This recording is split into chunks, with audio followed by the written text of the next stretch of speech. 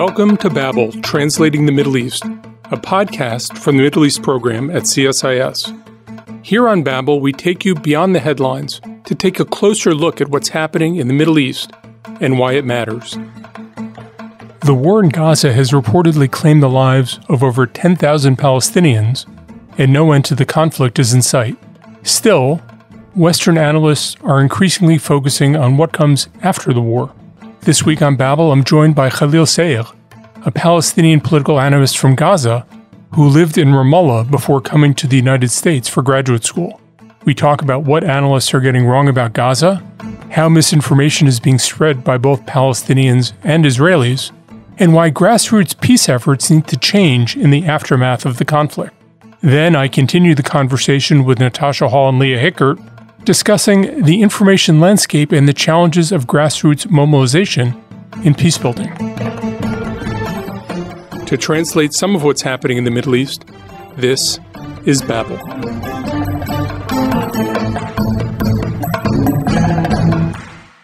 Khalil Sayegh is a Palestinian political analyst currently living in Washington, D.C. He was born in Gaza and lived in Ramallah before coming to the U.S. for his graduate studies. Khalil, welcome to Babel. Thank you, Jon, for having me. What's your family story? Well, I was born to a normal Palestinian family in the Gaza Strip who happened to be both refugees. My grandparents have been displaced in 1948 during Nakba from a city called Majdal, actually, located in the south part, the property of Israel. And my mother's side actually, interestingly, came from Akko, so from up in the north. Both ended up in Gaza. So born to a Palestinian family that are refugees means that, you know, you have to grow with a sense of grievances toward what happened in 48 and also with a sense of hope that one day you'll return to what used to be your home in 1948. You grew up in Gaza. What was it like growing up in Gaza? This is a hard question because when someone asks me this question, I find myself going deep into my thoughts and emotions and imagining all sort of paradoxes about the way I grew up in Gaza and the context there. On the one hand, I grew up into a really beautiful city on the beach. I lived just five minutes from the Mediterranean. I would walk and I would enjoy the sun over there. And on the other hand, since my childhood, I've experienced the Israeli bombing of Gaza during the Second Intifada. I also experienced the Hamas takeover of Gaza in 2006. I experienced the bulletization of every aspect of life in Gaza after 2006. My grandparents from my mother's side lived in Ramallah, and up until I was 14 years old, I wasn't able to meet them because I couldn't travel from Gaza to Ramallah, which is for context, it's about like 40 miles or less, which you drive even like an hour here in the US, but you couldn't even leave because you needed an Israeli permit. And then you moved to Ramallah. How is it different from what you knew in Gaza? How is life in Ramallah different? How is society different? How are Palestinians different? The first thing that any Palestinian who grew up in Gaza, especially after the total siege and isolation of Gaza would tell you is geographically different. The fact that you can see mountains, you know, people in Gaza have grown up on the coastal, never seen a mountain in their lives. But on the other hand, there is certain cultural differences because of the regime type that we had, right? Since Hamas took over in 2006, especially during the first few years of Hamas's consolidation of power in Gaza between 2006 2009, there've been really harsh process of Islamization of society, making it more Islamist, making it more look like what Hamas want the regime to look like and the people to look like. And that's something that didn't happen in the West Bank due to the secular nature of the PLO and Fatah movement. Their life has remained a little bit more secular in the West Bank. And I'll give you one example. In Gaza, after 2006, it wasn't allowed for people to consume alcohol anywhere in Gaza, not a restaurant, not even in your private home. So I was born to a Christian family. By virtue of being Christians, we have wine at home usually. But not only this, even the economy in the West Bank after the siege obviously was a little bit better. And you could feel it. You could feel that there is more opportunity, that you could go to school and have a hope, higher chance of getting a job. And you know, I, I lived Gaza at the age of 15 and although I was 15, unfortunately, I was able to predict that the situation going to get worse and worse. And that's why I decided to go there. I said, at least there is higher chance of getting a job and getting a life after university. And unfortunately, I was right because the situation became worse and worse. Have you been back to Gaza since you left? I was not allowed. No. Not allowed by Hamas or not allowed by the Israelis? By the Israelis mostly. I think that Hamas would have issue with me going back to Gaza because they have issue with anyone who went to the West Bank because they associate them usually with the other party, with Fatah or with other groups, right? Just the fact that you went in Ramallah, this make you suspicious. But no, it was more from the Israeli side. You know, for almost seven years living in the West Bank, the Israelis consider people like myself who moved there as quote unquote illegal. So at any point, an Israeli soldier can stop you, send you back to Gaza without any warranty. So I lived under this fear for almost seven years, running away from the army, having to figure out how to get my papers. And then 2000, 17, for the first time, I got what's so called quote unquote permit to stay in the West Bank. It's you know, renewed in yearly basis. And I had the freedom to travel freely in the West Bank and then the freedom for the first time to go out of Palestine to Amman, Jordan. And when I came to pursue my academic degree here in the US, I was shocked that I'm not allowed back to the West Bank. They just revoked the permit. So now I'm kind of stuck here. It's a good place to be stuck in, but.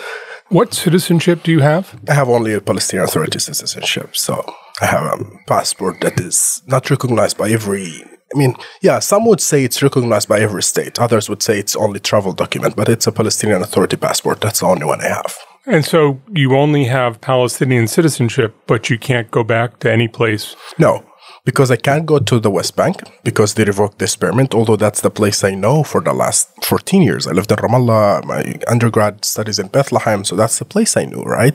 Gaza to me is where my family is. I mean, my siblings are there, my father and mother are still there.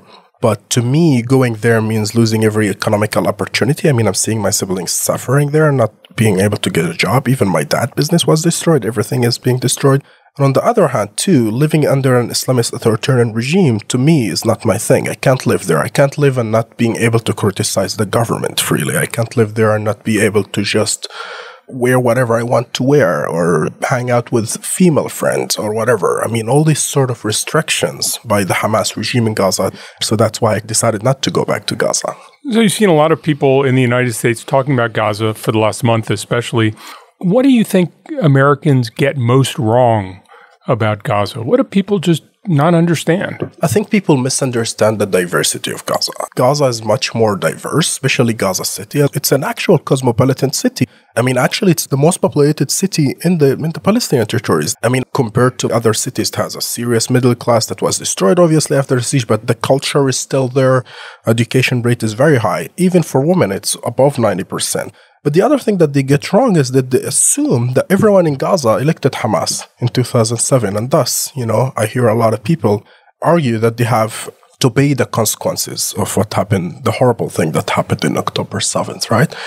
And this cannot be far from the truth because not only that, like 50% of the Gaza population today are children and even people like myself did not elect Hamas because we weren't eligible for election in 2006, where I was like, what, 12 or 13 at the time.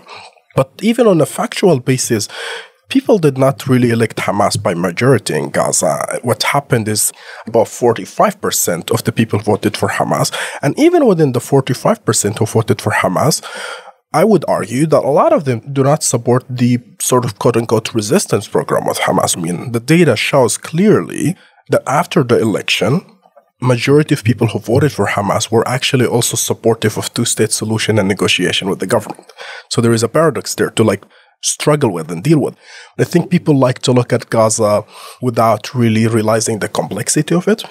On the other hand, also I am, to be honest, frustrated by certain people on the far left who tend to just think of Hamas as only a resistant movement and not to understand that this is a movement that has controlled Gaza for the last 15 years and made the lives of the Palestinians miserable.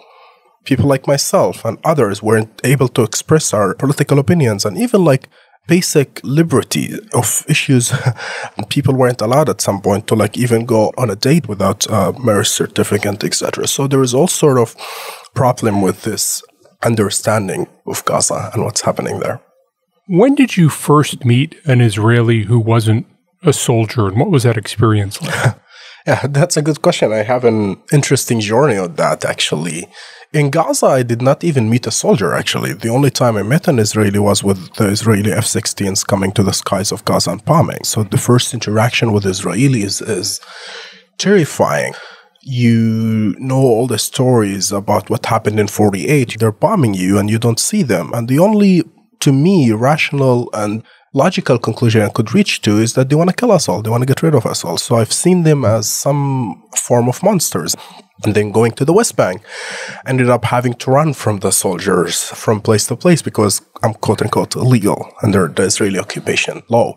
The first time I met an Israeli who was not a soldier, actually, it was an Israeli settler who is obviously radical in his views of what Israel should look like, etc. But he has certain level of quote unquote humanism, and he just wanted to meet a Palestinian for the first time. So I did, and at that time I wanted to just meet an Israeli. I was going through a journey where, for the first time, I started thinking, what if they have a story too, and what if I hear their story?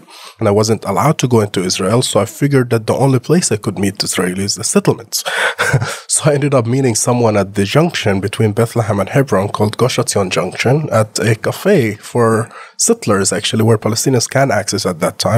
I met this in Israeli, and it was fascinating because, on the one hand, I disagree with him on almost everything. Like, it's insane to me what he's talking about, right? On the other hand, I've seen just a human who wants to raise his children, who is really sincerely does not want to kill all Palestinians, as I imagined, or whatever. And it was really a moving experience. After this, met bunch of other Israelis from Tel Aviv and Jerusalem who I aligned with more in terms of like my basic view of the world, right? And now, even my business partner in this new organization that was started is an Israeli himself, and we both see the world a little bit closer to each other than the rest of Palestinians and Israelis. Can you describe the pro peace Palestinian community? Who's in it? How diverse is it? What is it like?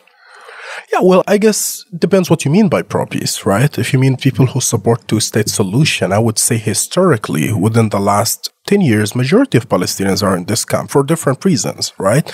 The numbers used to be at between 50 to 65, right? Depends on what's happening in the context. People swing back and forth right now, giving the context that the Israeli government continues its occupation, expansion of settlements, etc., this camp is getting weaker and weaker. So we know numbers that people who support two-state solution are less than 40%. But if we mean by peace camp, what some Westerns refer to as people who have worked on grassroots between Israelis and Palestinians, like myself, I would say that this groups are still quite weak, and I don't think they are up to the challenge of what's up ahead of us. And I think that's due to the really huge inequality between both sides, Palestinians and Israelis, and the institutional problem that the occupation has created. So that's complicated. I wish I had a more simple answer to that, but I had to learn this the hard way after really working for years to trying to get more of my friends to participate in meeting Israelis. And I did succeed sometimes. I failed much more time. How large is that community in your mind? Is this a community of dozens, hundreds, thousands? I think the maximum would be 10,000. Yeah, that would be the maximum. If I combined all the organizations, you know. But obviously, I mean, this includes some Palestinian citizens of Israel. This is a different equation because Palestinian citizens of Israel, by the very virtue of being Israelis, have to deal with their neighbors, right? And also, there is certain level of equality there where you could meet with each other. The Palestinians find it very humiliating and hard that we are going to meet with the Israelis and at the same time having to go through checkpoints where we are humiliated, having to require permit, etc. And then when you sit there, they come and they assume that you guys are equal. And I always had to like point out to my partner and say, despite that we are equal in this room, if something happens and the police comes here under the law, we're not equal. And that makes it almost impossible for any grassroots peace initiative to succeed. That's why I kind of stepped back from this work and now building this organization with my Israeli partner where we're trying to get people together, but we no longer talk about peace and love or whatever. We are talking about ending the occupation. We're talking about the political settlement. That after this, we'll start talking about talking to each other more. But now the conversation has to be about everything that we want to talk about, about our identity, etc. But it has to be all directed as the goal of ending the occupation, establishing some form of solution where Palestinians have right and dignity and no longer feel that they are under the many Palestinians would describe the boots of the Israeli soldiers. What has the current war done to those kinds of efforts? Is anything going on? Can anything go on? Under what circumstances can anything go on? If so, what? I mean, obviously, I'm here in the US, I'm not there on the ground, so this gives me a lot of disadvantage, but I think also it gives me an advantage because I'm able to see the bigger picture. And at the same time, I'm here in Washington, but my phone from the day to the night, I'm talking to people in Gaza, talking to people in the West Bank, and also in Egypt and Jordan as well. And what I can tell you that a lot of organizations that has had Palestinians and Israelis working together in grassroots has completely collapsed. Like people no longer trust each other. Even I've seen people having completely different versions of what happened in October 7th. The Israelis were like, there is a horrific, terrible massacres are happening. And some Palestinians were like, no, nothing really is happening. Only soldiers were killed, whatever. I've seen also Israelis saying that while we still believe in peace, we think the IDF should have complete freedom in Gaza, right? They should just massacre people. It's all collateral damage, no problem.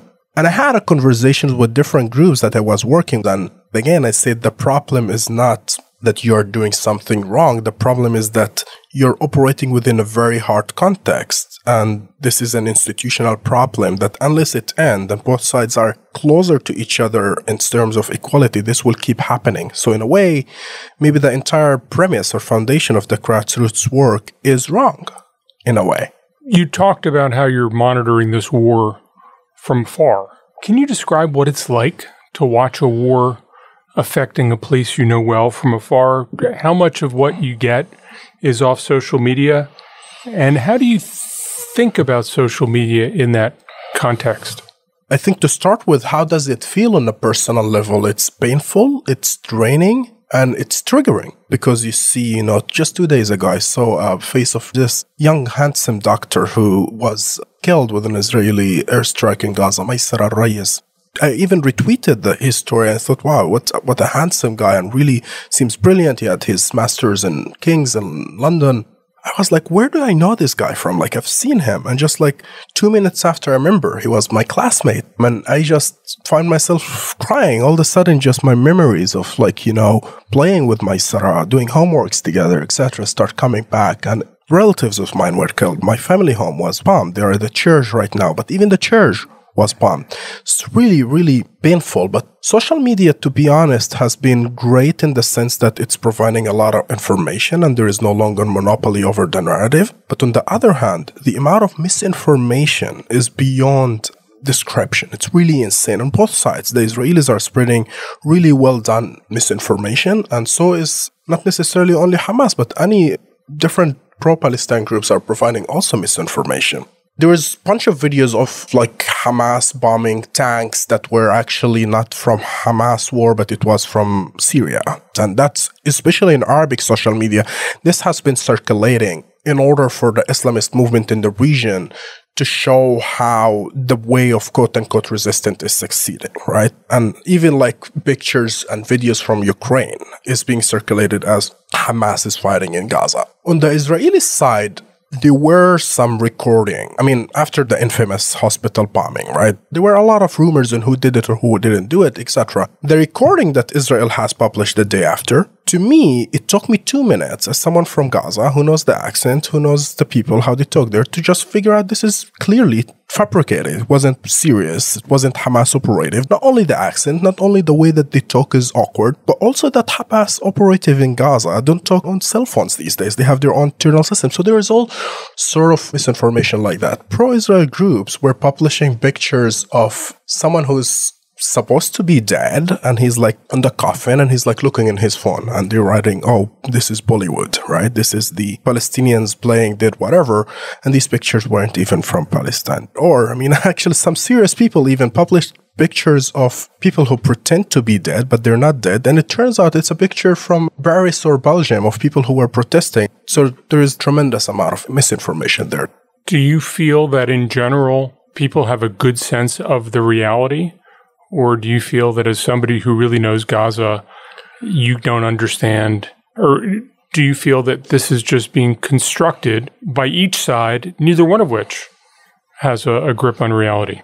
I would say that anyone whose take on it is either or is missing the point. And I'll give you an example. One of the famous Israeli claims is Hamas is using the Palestinian people in Gaza as human shields, right? That Hamas is building tunnels under people's homes and Hamas is responsible for every killing of Palestinian and civilians in Gaza. On the other side, on the pro Palestine side, the argument is just simple. This just simply does not happen. Hamas never built tunnels under the people houses in Gaza. Now, my view is both of these takes are completely wrong because I know for certainty that Hamas is building tunnels under people houses without their permissions. Why? Because I have friends who were targeted because of that. And after their houses were targeted, Hamas rebuilt the tunnels and to just simply dismiss these actual people who are suffering because of Hamas's system of tunnel is completely wrong. On the other hand, to just say that Israel has the right of do whatever they want because just Hamas built a tunnel, killing civilians, killing children. More than 4,000 children were killed in Gaza. Just completely terrible and wrong. And it completely disregard all the rules of war and international law, humanitarian law as well. So that's an example of how people misunderstand Gaza and what's happening there. Is there a role for others? Is there a role for other Arab states? Is there a role for Western states? How does that compare to, because you've done a lot of things between Palestinians and Israelis. What do you wish there were from outsiders? I think that obviously the American role is the biggest role, right? The Oslo Agreement, right, wasn't really an American initiative by itself, but but the American role played part, right? The fact that the Americans were pushing for it, the fact that Americans weren't willing to give a blind eye to the occupation completely, played a role of pushing the Israelis. I mean, the Israelis depend on America with their weaponry. I mean, we've seen Mr. Biden visiting Israel right away, providing them with weapons, support internationally, even vetoes on the UN, etc. The Israelis need to feel the pressure from America in order to go forward, and the Palestinians need to feel that there is someone pushing for something in order for them to sit on the table. So that's where I think the Western part is very important. On the Arab part, I think that although they are doing their part of trying to push for a solution, I think much more work is needed there. I think that after the Abraham Accord, there has been some misunderstanding of how much the issue can be inflamed in one minute. Like they just thought the status quo can continue. We could wait to talk about two states, whatever. Even the Saudis were like kind of willing to move forward with just few steps without two states, whatever. I think for the first time, everything is just going back to the Arabs, and the Arabs just understand at this moment that this is in our interest to push for a Palestinian state because that's the only way, not only to ensure Palestinians have rights, but to ensure that Egypt and Jordan are more stable. And I would argue that the status of even democratization in the region lays in Israel and Palestine. That when you really solve the Israeli Palestinian conflict, you will have much more room even to move toward a better status of human rights and democratization in the region. And this is a whole other conversation, but I do believe that. You've devoted a lot of your efforts to trying to pursue some sort of Palestinian Israeli peace. As you look at the situation now, what drives you to despair and what gives you hope? What drives me to despair, obviously, the fact that we are killing each other in, in, a vicious way. I mean, Palestinians and Israelis have been killing each other for the last 75 years. I obviously would emphasize that Palestinians have been disproportionately targeted and killed due to the imbalance of power within the conflict. We are living under occupation, humiliation, etc. It did not all start in October 7th. It was much, much longer before that this whole thing was going on. But this episode of violence that we are experiencing right now is not something that we had in sort of proportionality. And it does drive me to despair. The fact that more than a million people in Gaza are displaced. The fact that I lost friends and kids of my friends that were murdered does lead me to despair. And it's painful. My fear is that we are yet again raising up a new generation that is deeply traumatized and that is in deep, deep pain. And that the only way they would find ahead of them is that the way of revenge. And that is a terrifying situation. On the other hand, what gives me hope at this moment is that, paradoxically as it is, after all what is happening right now, finally the world is yet again looking at Gaza and looking at the West Bank, looking at Palestine, saying, guess what? There is a problem there. There is a conflict that has been going for 75 years old. And that gives me hope, although it's annoying and although it makes me feel like I've been speaking up in the air, and no one was listening for the last few years. But this gives me certain level of hope that the world is paying attention again to it. And I hope that the Palestinians and Israelis would come to the conclusion that a peaceful means is better than violence. That's my hope. Khalil Sayegh, thank you very much for joining us on Babel. Thank you, Jon. I really appreciate it.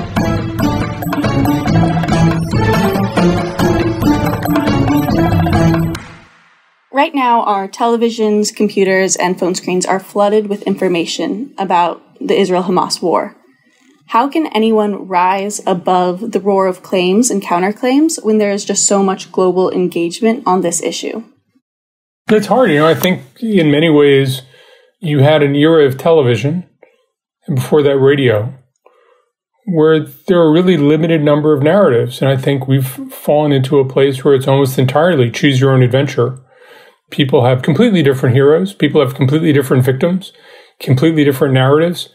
And you can customize it with all flavors and stripes. And with social media and internet searching and myriad of publications everybody's individual information stream is totally different. I think our jobs as an analyst are different too because we're talking to very different kinds of audiences all of whom interpret our words differently so it used to be that you sort of could be part of a conversation. It was one conversation. I think we're in a place where one of the things I'm always thinking about is so if somebody's coming from a very different perspective, will they think this word means what I intend it to mean?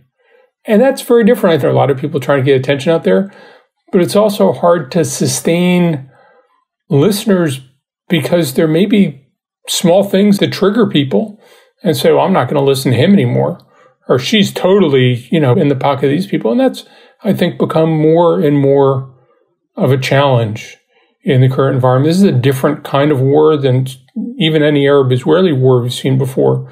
But I think it's a different kind of war than any war we've seen before. Billions of people really care.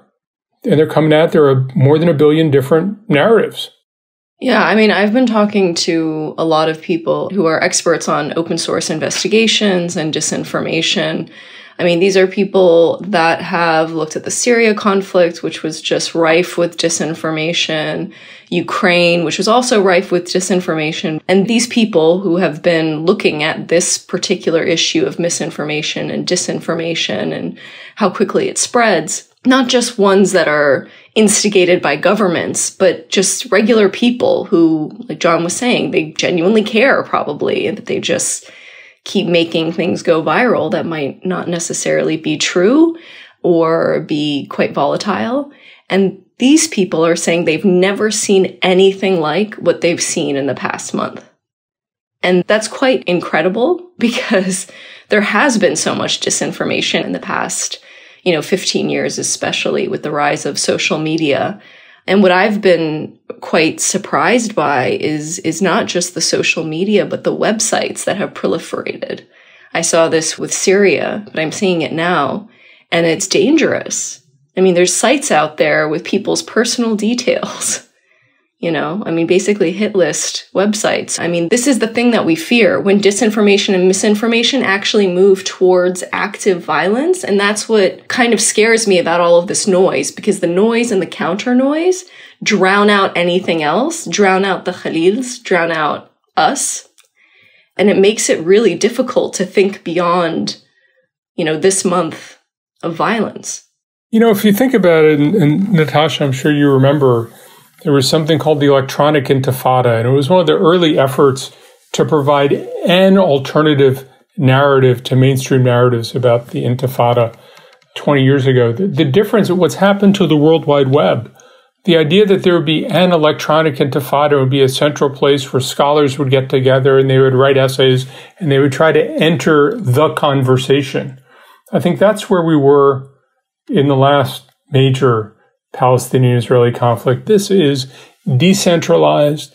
It is thousands and thousands and thousands of people who are trying to do anything to steer the narrative, get attention, elicit emotions on all sides of this conflict. And I think it's much less of a conversation than it ever has been. And it's hard to separate the signal from the noise. Sometimes when we have these complex, seemingly intractable conflicts, it's easy to assume that any process of reconciliation has to start by targeting the hearts and minds of the actors involved. However, Khalil said something interesting. He said, oftentimes grassroots peace building actually requires more tangible objectives like finding a political settlement or ending the occupation. Where else in the region have we seen the hearts and minds strategy of peace building succeed? Or where have we seen it fail? I think we see this all over the region, but the world as well. I think often donor governments, UN agencies, they try to build up these sort of grassroots movements. And there's many of these. There's little projects here and there in, in Syria and elsewhere. I think that the issue is it, it's good to humanize people, humanize the other side in a sense. But if there's such a dramatic power imbalance, and if there's no movement on an actual peace process, it tends to just feel very hollow and sometimes damaging. And you see that, yeah, I think, throughout the region. I think that's why a lot of these peace projects have kind of fallen apart, as Khalil was saying, because both sides start mistrusting each other it just doesn't make sense anymore to think that it's just about needing to meet the other side. No, I think there's also an extent to which uh, when people get together, the disparities between them are even more apparent. And, and Khalil talked about this a little bit when he talked about just the disparity in Israelis who can move and Palestinians who can't. I mean, it's hard for Palestinians to move around the West Bank. It's much easier for Israelis to move around the West Bank. And that's just the beginning of it. And there's a danger that people who are in privileged positions come to say, see, there's not really a problem because these people won't talk to us. And the people who are in disadvantaged positions say, I, the disparity between me and the other person is even larger than I thought it was. And it can sort of reinforce a sense of resentment. On the other hand, and it's very important, Khalil said, I couldn't imagine what talking to Israeli would be like. And so it's important to have some of that going on too, that there is a humanization, there is a sense that, that people are complex. As both of you know, the Middle East program t shirts have printed on the back of them the essence of tyranny is the denial of complexity. A quotation from the Swiss social historian Jacob Burckhardt. If there is no interchange, it gives advantages to people who say there's nothing complicated here and there's nothing much to work with but if it's merely about getting people together and doesn't move anything, doesn't make a change in the reality, doesn't begin to address the disparities. So I think it's an important element, but it can't be a substitute for a much broader set of actions. I'm not sure the conflict can be completely resolved, but I'm sure it can be handled a lot better than it's been handled. And I think an element of that has to be people understanding the complexity and diversity of the other side. And I am convinced by talking to a lot of Palestinians and a lot of Israeli Jews that there is not nearly the understanding of the complexity and diversity of the other side that there needs to be. For the reasons you just mentioned, Jon, it can be just as difficult to foster grassroots peace building as it can be to broker a political settlement. Given the difficulties of both bottom up and top down peace building, how can track two meetings and other kinds of direct encounters pave a path forward? I've done a lot of track two meetings for probably 30 years on a whole range of issues. I was involved with Iranians, with Syrians, with Palestinians and Israelis, with all series of governments that have had problems with the United States. I've spoken to Chinese, I've spoken to Russians. I think there are useful things that happen in track two meetings, part of which is portraying the diversity on each side, part of which is is explaining some of the constraints on each side. I think you hear things that give you ideas for experiments to try. You know, one of the things I dealt with Jake Sullivan a bunch before he was national security advisor, and one of the things that Jake likes to say is, you know, well, how would you test that proposition? And I think track two meetings are a really good place to come up with propositions to work with. I was doing track two, track 1.5 negotiations before coming to CSIS. I'm always torn about it, how useful they are, because often I think countries can use these tracks to just sort of drag negotiations without really doing anything. That said, I think it's a great avenue for de escalating tensions potentially. It's a good avenue for when two sides or three sides or however many are not interested in the publicity of a big plan or a big sort of diplomatic battle at the top, and they want just sort of different types of avenues and channels to address just certain things, you know, de escalation, it could be, you know, water sharing, whatever it happens to be.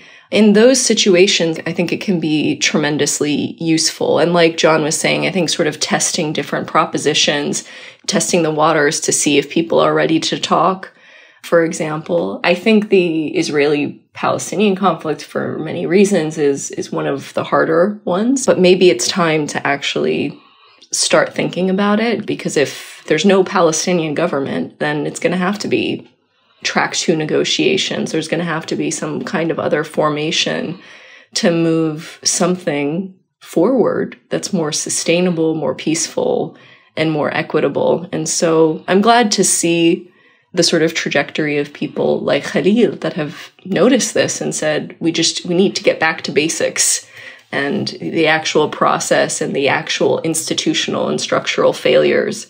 And so I'm very cautiously hopeful in this very, very desperate moment. Thank you both for joining me, Jon and Natasha. Thanks, Leah. Thanks for listening to Babel. If you enjoyed this episode, please subscribe to the podcast on iTunes or Spotify or wherever you listen to podcasts. You can find more analysis on this topic linked in the show notes on the CSIS website, and you can find us on Twitter at CSIS Mideast. Thank you.